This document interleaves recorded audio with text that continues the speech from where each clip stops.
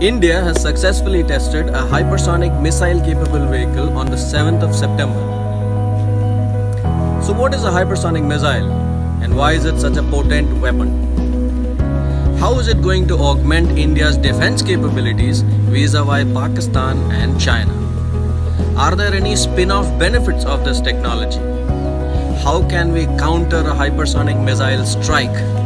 We will find answers to all these questions on this show today. I am Rajesh Kutty and you have just started watching Bite the Bullet.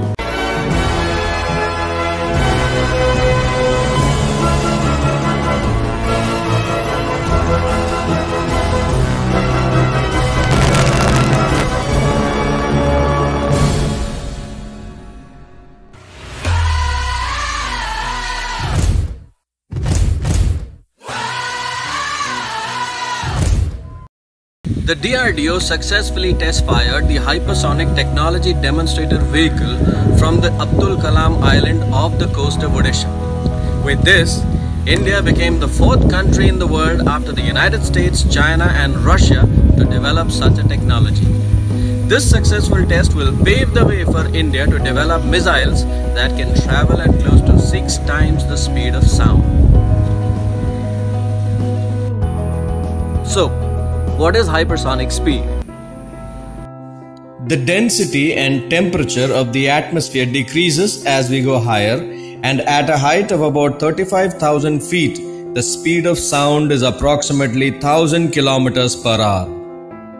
Flight in the range of 800 to 1000 kilometers per hour is said to be subsonic. Commercial airliners usually fly within this range. Flight in the range of 1000 to 5000 kilometers per hour is said to be supersonic, and the SR 71 Blackbird and the Concorde used to fly in that range. Objects which fly above 5000 kilometers per hour are said to be flying at hypersonic speeds. The US built experimental aircraft X 15 flew at hypersonic speeds. So, how is a hypersonic missile different from a conventional missile? Presently, two types of missiles are in service with major powers of the world. They are cruise missiles and ballistic missiles. A cruise missile is just like an unmanned aircraft which can travel at subsonic, supersonic, or hypersonic speeds. Since they stay relatively close to the surface of the earth, they cannot be detected easily by an anti-missile system and are designed to carry large payloads with high precision. Ballistic missiles, meanwhile, are launched directly into the upper layers of the Earth's atmosphere. They travel outside the atmosphere, where the warhead detaches from the missile and falls towards a predetermined target. They are self guided weapon systems which can carry conventional or nuclear payloads. A hypersonic missile combines the speed of a ballistic missile with the maneuvering capabilities of a cruise missile, making these hypersonic missiles very reliable and extremely potent. Their speed reduces the warning time significantly, thereby reducing the effectiveness of missile countermeasures like missile defense shields. Combined with their high maneuverability and an unpredictable arc of travel, they are the real fire and forget missiles. It basically means that if it is launched from the northernmost point in Kashmir, it will hit its target in the southernmost part of India in Tamil Nadu, about 3200 kilometers away, in less than 28 minutes. How does a hypersonic missile work? Normally, supersonic missiles use a ramjet engine which carry liquid oxygen and hydrogen as fuel to sustain its flight, just like a normal space shuttle. A hypersonic missile, on the other hand, uses a supersonic combustion ramjet, also known as a scramjet engine, to further its flight. Scramjet engines are air breathing engines and therefore it need not carry liquid oxygen with it. Air is forced in through the scramjet inlet and compressed before it is mixed with hydrogen fuel which then ignites and is directed out of the nozzle from the back at hypersonic speeds. It collects oxygen from the atmosphere as it travels, resulting in at least 70% reduction in weight. To produce the same thrust, the scramjet engine requires less than one seventh of the fuel that a rocket engine needs. This in turn increases the speed and range of the scramjet engine. Another advantage of the scramjet engine vehicle is that they have a greater maneuverability because they rely on aerodynamic forces rather than on rocket thrust which results in higher safety as flights can be aborted with the vehicle gliding back to the earth.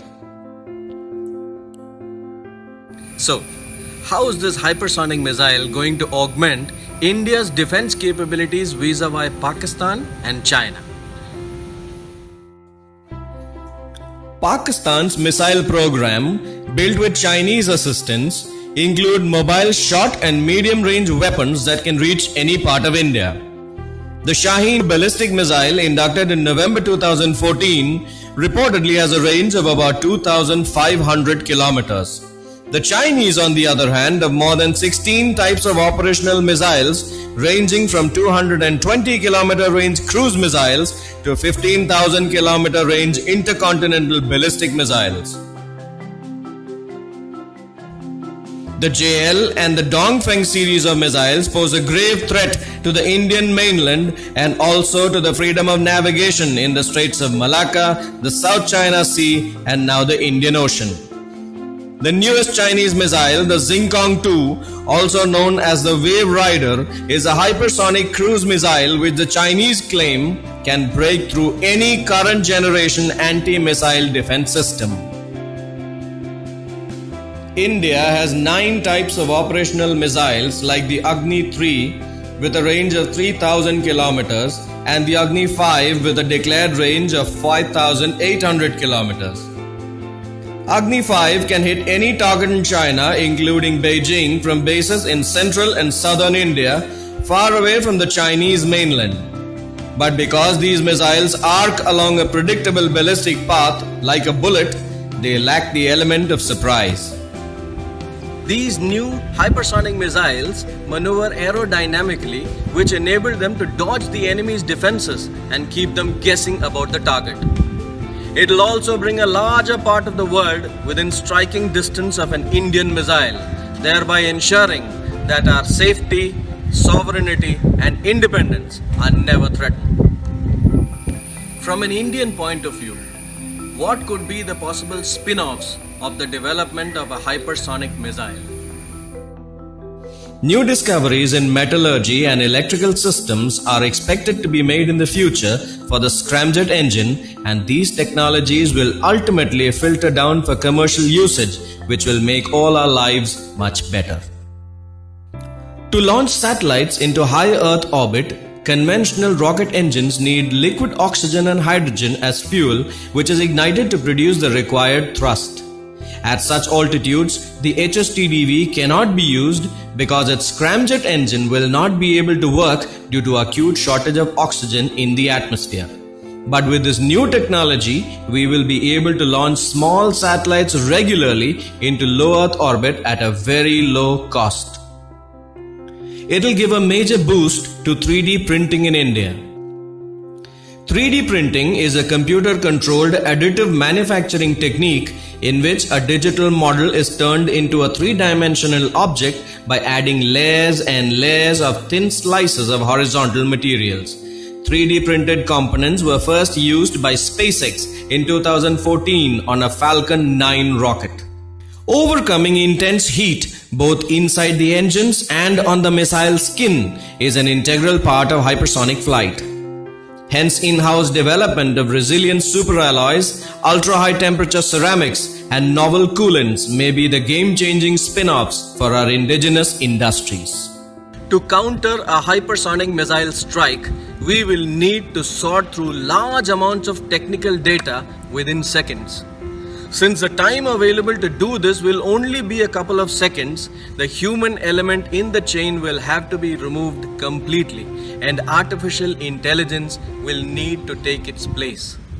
So development of this hypersonic missile technology will bring a quantum leap in the development of artificial intelligence in India. Now, the obvious question that arises is how do we counter a hypersonic missile launched at us? Countering a hypersonic missile is a very challenging and difficult job since they remain in the atmosphere during all their flight time at a very low altitude. Space-based sensors may be able to track and target incoming hypersonic missiles more efficiently. Directed energy weapons like a laser weapon with hit to kill capabilities are some of the other means to counter a hypersonic missile attack. In the absence of a credible defense system against a hypersonic missile attack, the only way to respond will be to launch a preemptive strike on those missile launchers that carry the hostile hypersonic missiles and destroy them before they are launched. To do this, we need a fast, reliable, and a credible offensive strike capability like the United States conventional prompt global strike capability, which can reach any target in the world in less than 60 minutes. Does India have such a capability? Not yet. The anti-satellite missile launch on 27th of March 2019, dubbed as Mission Shakti, knocked out one of our own satellites 300 kilometers in space in a flight that lasted for just over half a minute. And now, with the successful test flight of the hypersonic technology demonstrator, it can be safely inferred that a conventional prompt Indian global strike capability is not very far away.